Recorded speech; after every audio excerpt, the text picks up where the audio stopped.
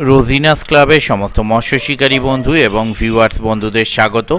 আপনারা ব্যাকে যে পুকুরটি দেখছেন এটি হচ্ছে বসো তাঁত পুকুর বা মজুমদার পুকুর যেটি হুগলি জেলার ধনেখালী এলাকায় অবস্থিত। আপনারা হ্যাঁ। এই পুকুরে পাসের ডিটেল দেখেছিলেন এবং মাছ দেখানোর ভিডিও দেখেছিলেন। এখানে যথেষ্ট পরিমাণ বড় বড় মাছ দেয়া হয়েছিল এবং শিকারী বন্ধুরা সেই আশা নিয়ে অবশ্যই এই পুকুরে মাছ ধরতে এসেছিলেন। কিন্তু আজকে শিকারী বন্ধুরা সেইভাবে মনোপুত হতে পারেননি কারণ রিপোর্ট সেরকম ভালো ছিল না। কিছু শিকারী বন্ধু যেমন পাঁচ ছটি সিট একেবারেই খারাপ রিপোর্ট ছিল। আবার কিছু শিকারী বন্ধু নিয়ে গোটা পাঁচ ছটি সিট যারা ভালো মাছ পেয়েছিলেন। বাকিরা কেউ দুটি কেউ চারটি কেউ তিনটি। এই ধরনের সব মাছ ছিল।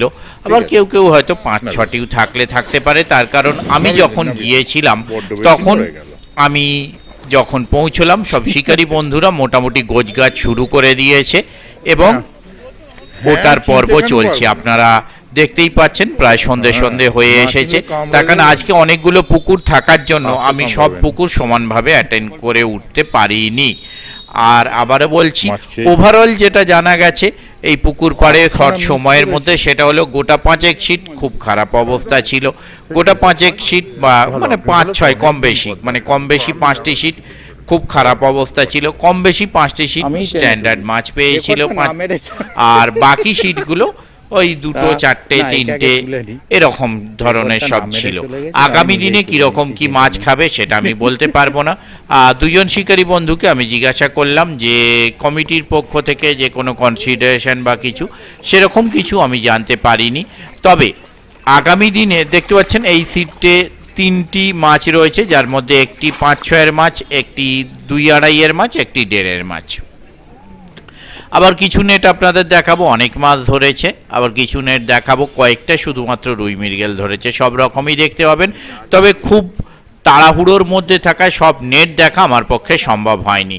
তার জন্যে আমি দুঃখিত, কারণ সব নেট আপনাদের সঙ্গে শেয়ার করতে পারছি না। তাই ওভারঅল আইডিয়াটা আমি আপনাদের বললাম, আর আপনারাও শিকারীদের থেকে কম বেশি একটু খোঁজ নিয়ে অবশ্যই জানতে পারবেন। ওনাদের কন্ট্যাক্ট নাম্বার আমি স্ক্রিনে ডিসপ্লে করেছিলাম, আবারও ডিসপ্লে করব। আগামী দিনে কীরকম কি মাছ খাবে সেটা আমি বলতে পারব না। কোনখানে? আপনারা যারা যাবেন অবশ্যই একটু খোঁজ খবর নিয়ে তবে যাবেন। তার কারণ আগামী দিনে মাছ খাওয়া না খাওয়া কোনোটাই আমার উপর ডিপেন্ড করে না।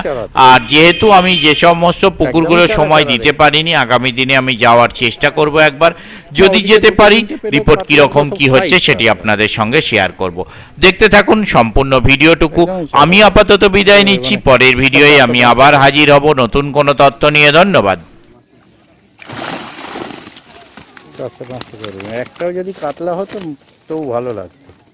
ঠিক আছে না বিয়ে দিন দাদা না, ওখানে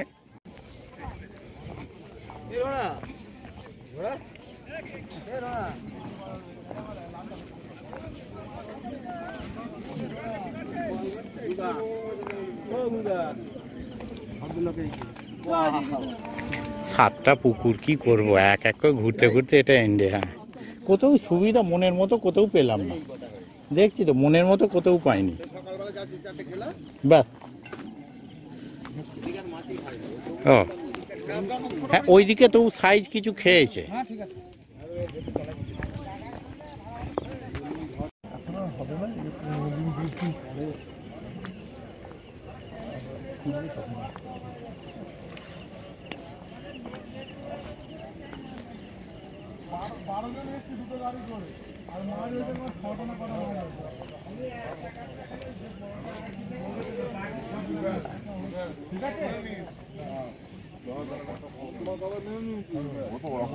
ওইটাই বলল তো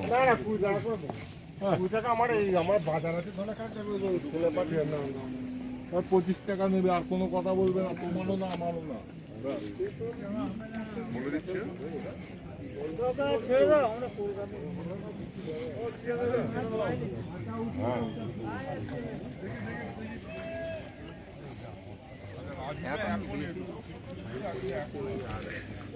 কতগুলো পুকুর ছিল আজকে? দু চারটে খাওয়ার মতো হয়েছে না তো হয়নি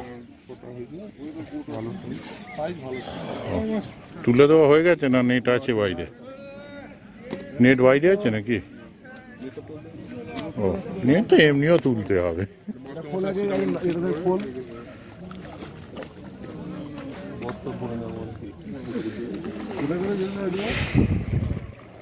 আজকে গিয়েছিলাম ইয়ে রাজবল্লভী। মোটামুটি। আচ্ছা তারপরে পাওয়ার হাউস গৌলো। আচ্ছা হামরাগাছি সাইজগুলো ঠিকঠাক আছে সাইজ একদম ঠিকঠাক।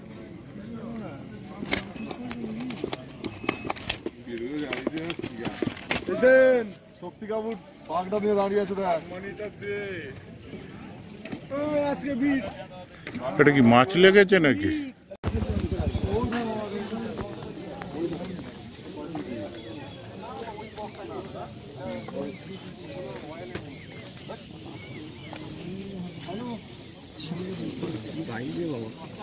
দেখো দাদা কাটা লেগে যাবে? আসছি।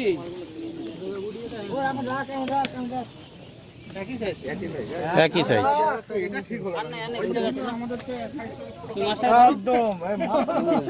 ও টেনে বাড়িয়ে নিন।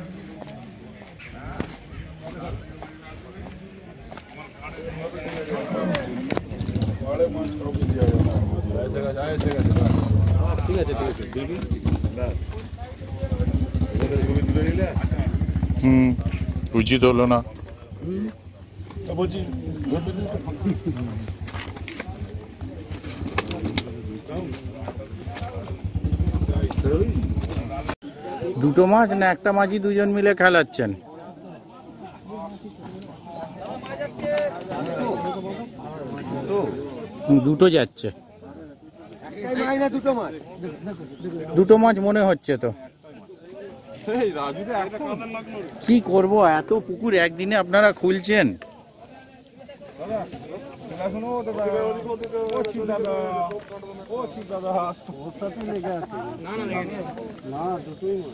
দেখি প্যাঁচ হোক কে যেতে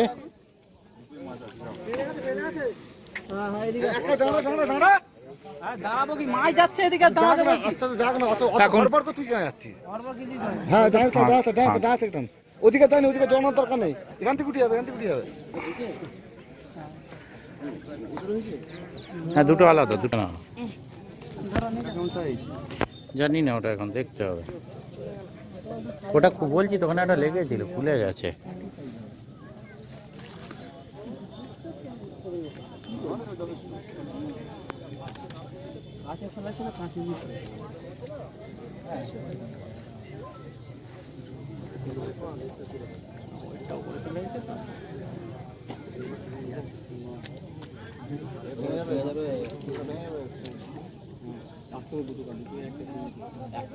খবর? ভালো না। পালিয়ে গেছে কি যায় না ভালো না জানি।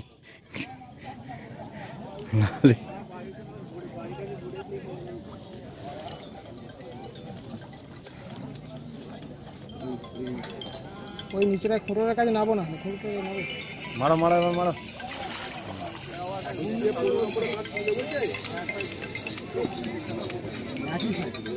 হুম দুটোই মোটামুটি সেম দুটোই